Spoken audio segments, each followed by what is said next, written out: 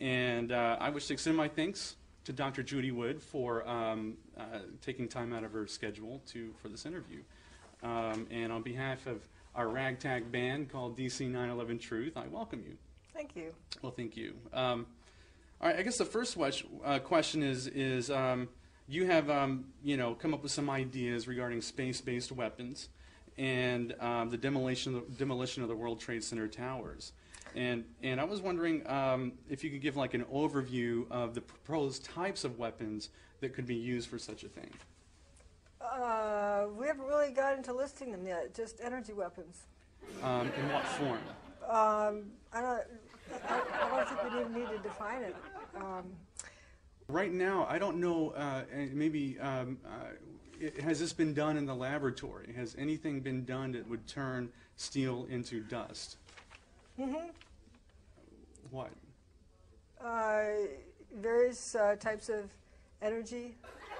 What kind, what, um, what kind of well, energy let's beam? see. You put something in your microwave oven and leave it on there extra long and see what Mm-hmm. happens to it. Well, That's food, right? That's not Or, so, or something else. Oh, Uh, if you put metal in the microwave, it I- will reflect off of it.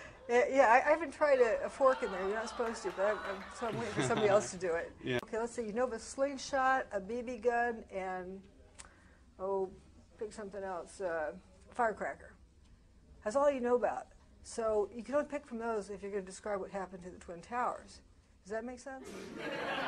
Well, uh, If I figure out what happened first, then how it happened is down the, down the road. okay, I mean, can, can we talk about your analysis on what happened? Would that- um, Okay, that's that's really where we are right now. Is what happened. We All right. don't know. That's we don't great. know the serial number on the, the gizmo that was used, or you know what assembly line it came off of. Or no, but it didn't collapse in on its footprint either. true. Why didn't it? Uh, Where did it collapse? didn't. Uh, where did it collapse? It collapsed in a radius six times its footprint. Six times its footprint. Yes. Um, I think it actually, if you want to count its material, it's probably like oh, a million times its footprint. Maybe it went in the upper atmosphere. yeah, where, where do you stop counting it? And, and where, where did this part of the building go? Um, uh, from that picture, it looks like it, a lot of it goes down. Where's, Right. it, where's it going down? But do you, you don't see any, any, any parts of the building going down there? Well, I, I see that we have about one third of the building left, Hmm. and, and two thirds of the building is missing. And Hmm. there's not enough volume of this this uh, snowball, I call it, to, oh. to account for for two thirds of the building. So, what's going down?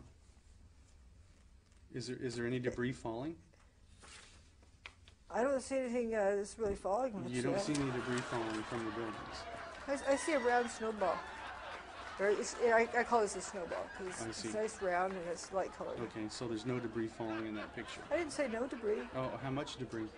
Wh- What, That's what, it. I, I don't. what, what debris is falling in that picture? I see some. No, I, I, I don't have a magnifying glass, sorry, Oh. there, but there's, I don't see any major material, and the building is still completely intact from this point down at that, at that moment, below the snowball. So you, you really don't see any falling debris there.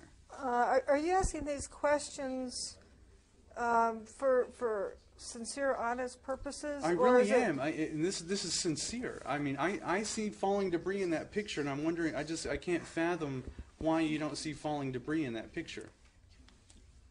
It- It's hard for me Uh, to okay, uh, may- understand. may- That's all. maybe- Because may, maybe I don't understand what what, what I'm not exactly saying you're there's trying to say. absolutely no debris, because somebody may have had some like pennies on their windowsill that fell out that may, they might be falling down. 'Cause somebody may have had some like pennies on their windowsill that fell out that may, they might be falling down, but it's not a significant uh, volume of material. The building's pulverized, and you see when the when the story's over with at the end of the day, you don't have much building left anywhere.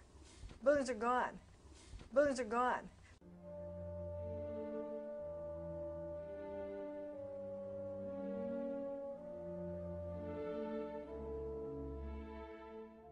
So, how much should we have?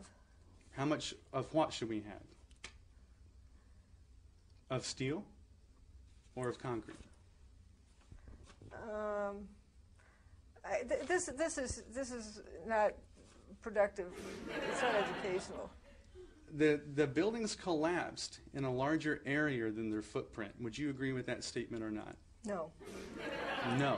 Well, I mean, no matter what the beam that is used in the situation uh, will involve, um, I guess the term you use is dustification of metal, or um, I guess another way you could get We're trying rid to of it invent a new word. is, is yeah, yeah, might as well, right? Uh, Well, is- it, poof, know? yeah, and or the vaporization of the metal in the towers, um, one or the other.